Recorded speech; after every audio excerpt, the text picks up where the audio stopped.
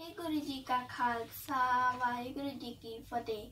ਮੇਰਾ ਨਾਮ ਤਨਰੀਤ ਕੌਰ ਹੈ ਮੇਰੀ ਉਮਰ 10 ਸਾਲ ਹੈ ਮੈਂ ਆਪ ਜੀ ਨੂੰ ਧੰਨ ਧੰਨ ਸ੍ਰੀ ਗੁਰੂ ਨਾਨਕ ਦੇਵ ਜੀ ਦੀ ਜੀ ਦੀ ਗੁਰਪੁਰਬ ਦੀ ਲੱਖ ਲੱਖ ਵਧਾਈ ਦਿੰਦੀ ਹਾਂ।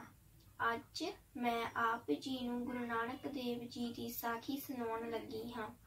ਇੱਕ ਵਾਰ ਗੁਰੂ ਨਾਨਕ ਦੇਵ ਜੀ ਜਗਤ ਨੂੰ ਤਾਰਦੇ ਹੋਏ ਮੱਕੇ ਪਹੁੰਚੇ। ਮੱਕਾ ਮੁਸਲਮਾਨਾਂ ਦਾ ਪਵਿੱਤਰ ਧਾਰਮਿਕ ਅਸਥਾਨ ਹੈ। ਰਾਤ ਨੂੰ ਜਦੋਂ ਗੁਰੂ ਜੀ ਸੌਣ ਲੱਗੇ ਤਾਂ ਕਾਬੇ ਵੱਲ ਨੂੰ ਪੈਰ ਕਰਕੇ ਲੰਮੇ ਪੈ ਗਏ। ਉਥੋਂ ਦੇ ਸੇਵਾਦਾਰ ਜੀਵਨ ਨੇ ਰੌਲਾ ਪਾਣਾ ਸ਼ੁਰੂ ਕਰ ਦਿੱਤਾ ਕਿ ਇਹ ਕੌਣ ਕਾਫਰ ਹੈ ਜੋ ਕਾਬੇ ਵੱਲ ਨੂੰ ਪੈਰ ਕਰਕੇ ਸੁੱਤਾ ਹੈ। ਗੁਰੂ ਜੀ ਨੇ ਬੜੇ ਪ੍ਰੇਮ ਨਾਲ ਉਸ ਨੂੰ ਕਹਾ ਕਿ ਤੂੰ ਮੇਰੇ ਪੈਰ ਉੱਥੇ ਕਰਦੇ ਜਿੱਥੇ ਕਾਬਾ ਭਾਵ ਰੱਬ ਦਾ ਘਰ ਨਹੀਂ ਹੈ।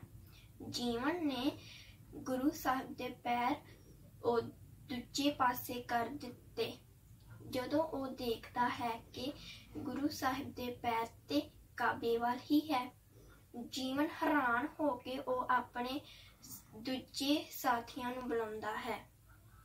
ਗੁਰੂ ਜੀ ਨੇ ਬੜੇ ਪ੍ਰੇਮ ਨਾਲ ਉਸ ਨੂੰ ਕਹਾ ਕਿ ਰੱਬ ਸਭ ਜਗ੍ਹਾ ਹੁੰਦਾ ਹੈ, ਕੋਈ ਵਿਸ਼ੇਸ਼ ਜਗ੍ਹਾ ਨਹੀਂ ਹੁੰਦਾ।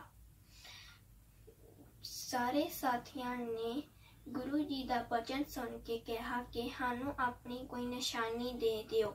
ਗੁਰੂ ਜੀ ਨੇ ਆਪਣੀਆਂ ਖਾਵਾਂ ਦੇ ਦਿੱਤੀਆਂ ਨਿਸ਼ਾਨੀ ਦੇ ਤੌਰ ਤੇ, ਜੋ ਅੱਜ ਤੱਕ ਮੌਜੂਦ ਹਨ। ਇਹ ਸਾਖੀ ਤੋਂ ਸਾਨੂੰ ਇਹ ਸਿੱਖਿਆ ਮਿਲਦੀ ਹੈ ਕਿ ਰੱਬ ਹਰ ਜਗ੍ਹਾ ਹੁੰਦਾ ਹੈ, ਕੋਈ ਵਿਸ਼ੇਸ਼ ਜਗ੍ਹਾ ਨਹੀਂ ਹੁੰਦਾ। ਵਾਹਿਗੁਰੂ ਜੀ ਕਾ ਖਾਲਸਾ, ਵਾਹਿਗੁਰੂ ਜੀ ਕੀ ਫਤਿਹ।